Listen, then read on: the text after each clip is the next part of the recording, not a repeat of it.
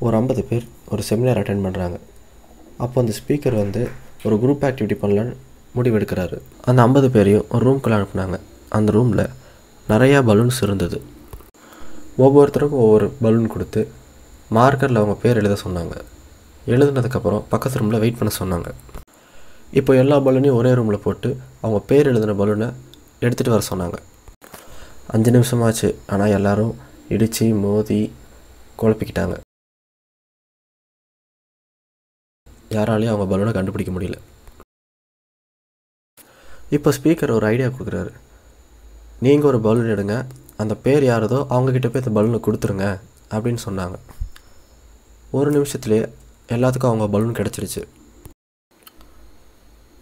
இதே தான் நம்ம வாழ்க்கையில் நடக்குது. நாம் நம்ம பலூனை தேடுறோம்னு நினச்சி எல்லா இடத்துலையும் தொலைவிட்டு இருப்போம். நான் பலூன் மீன் பண்ணுறது சந்தோஷத்தை. சந்தோஷங்கிறது மற்றவங்க சந்தோஷத்தில் இருக்குது நீங்கள் அவங்க சந்தோஷத்தை கொடுங்க. உங்களுக்கான சந்தோஷம் உங்களை தேடி வரும். மனித வாழ்க்கையோட நோக்கமே இதுதான்.